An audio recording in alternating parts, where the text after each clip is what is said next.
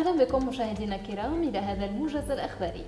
أعلنت المؤسسة الوطنية للنفط أنها حققت إيرادات بقيمة 50.525 مليون دولار أمريكي فقط من النفط الخام والغاز والمكثفات عن شهر إبريل. مسجلة بذلك تراجعا حادا بلغ حوالي 97% مقارنة بما تم تحقيقه في إبريل 2019 كما سجلت قيمة المنتجات النفطية صفرا للشهر الثاني على التوالي. مرجعة هذا التدني إلى تواصل إقفالات الحكومة الحقول والمصافي النفطية والوحدات الإنتاجية. وسجلت معدلات إنتاج الغاز الطبيعي هي الأخرى انخفاضا في إبريل بسبب أقفال صمام سيدي السايح ما كبد الخزانة العامة تكاليف إضافية لتأمين الوقود البديل لتشغيل محطات توليد الطاقة الكهربائية. نشرت وزارة المالية بحكومة الوفاق الوطني نشرة متابعة للإيرادات والنفقات العامة منذ بداية العام الحالي وإلى غاية موافى إبريل الماضي.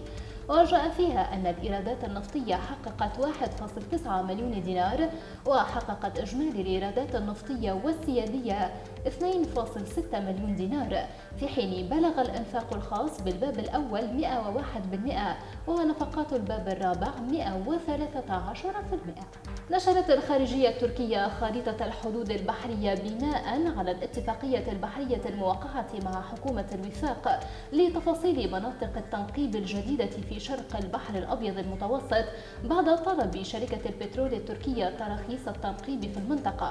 وقال المتحدث باسم وزارة الخارجية التركية أن حقول الترخيص الجديدة تقع ضمن حدود الجرف القاري الذي تم إبلاغ الأمم المتحدة بها.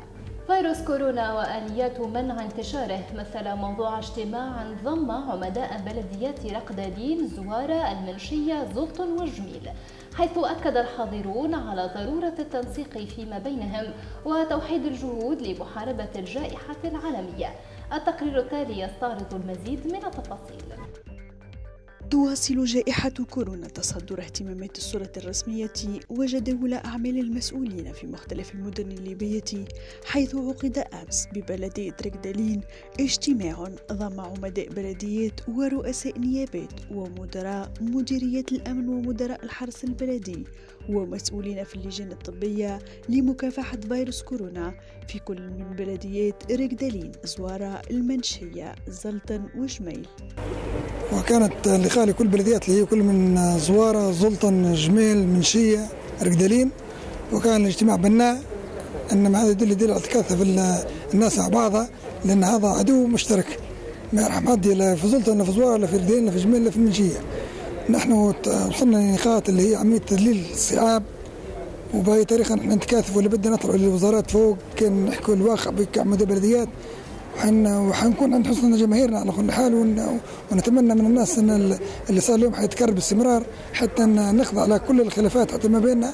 ونحن على وأنا كعميد بلدية وأهلي في سلطن على تم استعداد لخدمة هذه الجماهير. وتناول الاجتماع آلية التنسيق وتوحيد الجهود بين هذه البلديات فيما يخص الوقاية من جائحة كورونا والعمل على مساعدة ودعم الجهات ذات الاختصاص في هذا المجال من الجهات الأمنية والصحية والحث على تنفيذ خطة عمل مشتركة.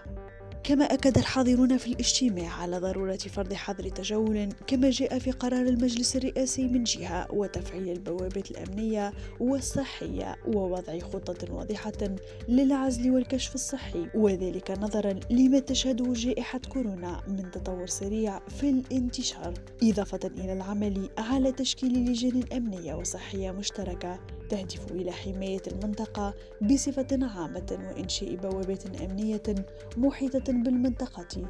ومنع القادمين من الخارج الدخول إلى هذه المدن إلا بإجراءات وتصريحات خاصة. من اليوم إن شاء الله يصبح العمل حيز التنفيذ من خلال حظر التجوال من خلال آه، غلق المناطق.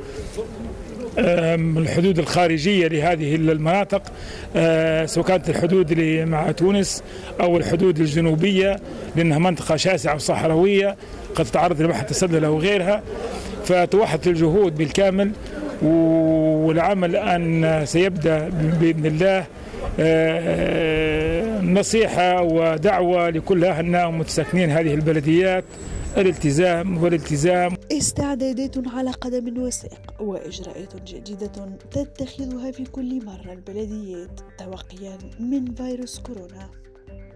افتتح تحت إشراف الفريق الطبي القادم من العاصمة طرابلس أول مركز للكشف المبكر عن فيروس كورونا بمدينة سبها بمقر المجمع الصحي بمنطقة الجردة وبدأ في استقبال عشرات الراغبين في إجراء الفحوصات اللازمة للتأكد من سلامتهم وسلامة أسرهم. فني مختبرات بالمركز والمزيد من التفاصيل. طبعا يتم دخول المريض إلى المجمع بطريقة سلسة اللي هي يتم تعقيم اليدين ويلبس ال face mask اللي هو surgical mask ويتم الجلوس على الكرسي أمام المريض أمام الدكتور. ويتم الدكتور أخذ منه ال history طبيعيا يعني. وعلى ضوء على ضوء ال history هل يتم المريض استجابة اللي هو ما تحليل؟ وعلى ضوء التحليل نشوف التحليلات. باهي آه للل lymphocyte والفيريتين. على ضوء التحليل هل هل ننصح المريض يمشي؟ نرفعه لل CT. عن ضوء ال CT نشوف هل هو المريض عند لديه الفيروس أو لا. ساعات الآن العمل مبدئيا مبدئيا إحنا فاتحين من التاسعة صباحا للعاشره مساء لقلة الأطباء. تمكن فريق بمركز سبها الطبي من النجاح في القيام بعملية استعجالية لأحد المصابين بفيروس كورونا المستجد وتم تجهيز غرفة عمليات بمبنى العيادات الخارجية في ظرف 24 ساعة. ونفى الفريق أن تسبب العملية عدوى بالنسبة لبقية الموجودين في المركز مؤكدين أن غرفة العمليات التي تم تجهيزها بعيدة عن بقية الأقسام وتم تعقيمها. وقبل أن نختم هذا الموجز إليكم لمحة عن الأسعار المتداولة اليوم للمواد الغذائية ومواد البناء والعملات.